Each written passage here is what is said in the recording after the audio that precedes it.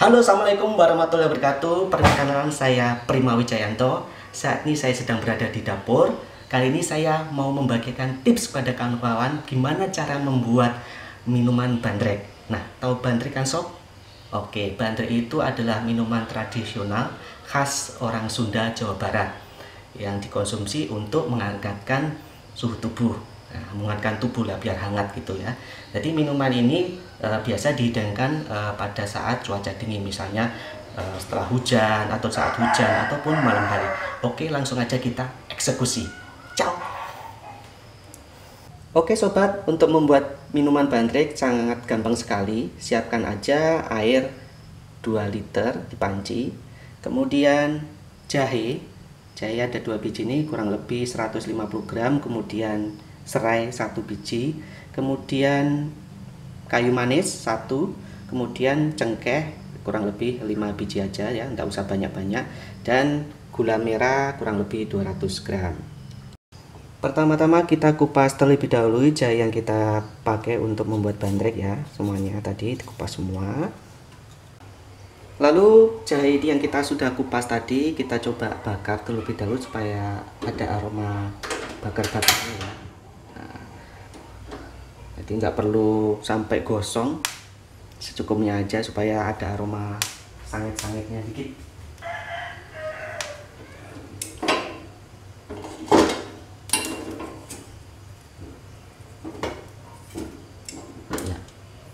Ya. Perlu sampai gosong ya sobat.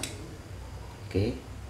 Nah ini sob jahe yang sudah kita bakar pakai api kompor gas sebaiknya sih memakai arang ya tapi berhubung tidak punya arang pakai api dari kompor gas pun juga boleh lah. Oke. Oke selanjutnya jahe yang kita bakar tadi kita parut ya. Kita parut. Kenapa harus diparut? Supaya pedas dari rasa pedas dari jahe ini terasa sekali ya. Sebenarnya diiris kemudian ditumbuk itu juga bisa. Cuma pengalaman saya eh, dengan memarut jahe ini terasa pedasnya. Nah ini tadi jahe yang sudah kita parut tadi ya. Kita masak 2 liter dalam panci terlebih dahulu hingga mendidih. Nah sambil menunggu air mendidih eh, supaya gula merah ini larut kita iris eh, potong kecil-kecil ya. Supaya lebih larut. Dan kita mudah mengaduknya di dalam panci tadi. Masukkan gula merah yang udah kita potong tadi kecil-kecil ke dalam air ya pelan-pelan supaya nggak nyiprat. Nah ini airnya juga sudah mulai mendidih. Ya.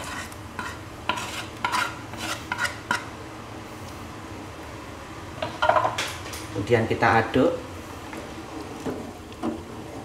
sampai benar-benar larut masukkan jahe yang sudah kita parut ke dalam air yang sudah mendidih ini. Pelan-pelan. Ya, supaya nggak nyiprat nah.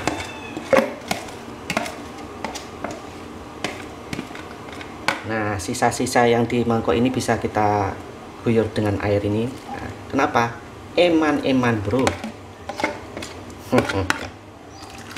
Nah aduk Oke, serai yang kita potong ini ya, kecil-kecil kita tumbuk supaya keluar. Oke, kemudian kita masukkan. Oke, api kecil ya, biar enggak apa berbuih, enggak tumpah. Oke. Masukkan cengkeh dan kayu manis tadi ya.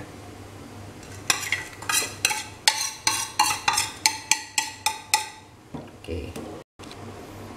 Kita aduk semua ramuan resep tadi ya. Sampai dirasa kita cukup lah merata ya.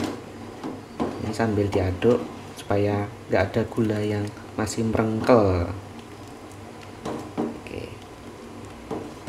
ini bisa udah bisa kita cicipi. Rasanya udah pas apa belum? Kalau belum pas kita bisa tambahkan gula. Oke kita coba sobat. Rasanya sudah pedas ah, dan manis tak belum ya.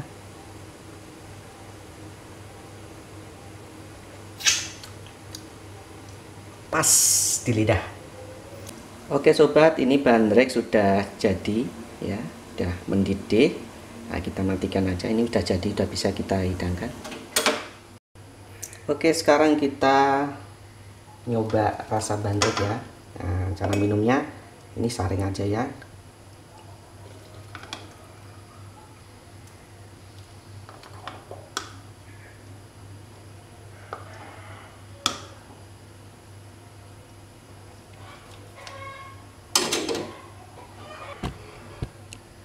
Oke ini bandrek original.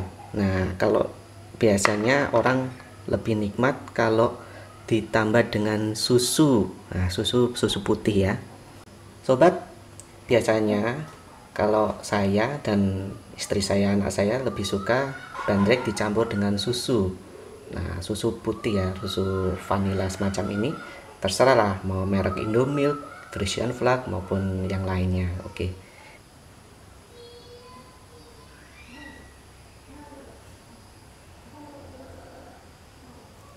ya lalu kita aduk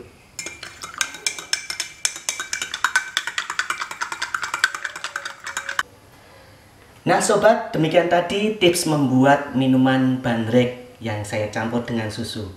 Selamat mencoba dan menikmati bersama keluarga. Assalamualaikum warahmatullahi wabarakatuh. Mantap.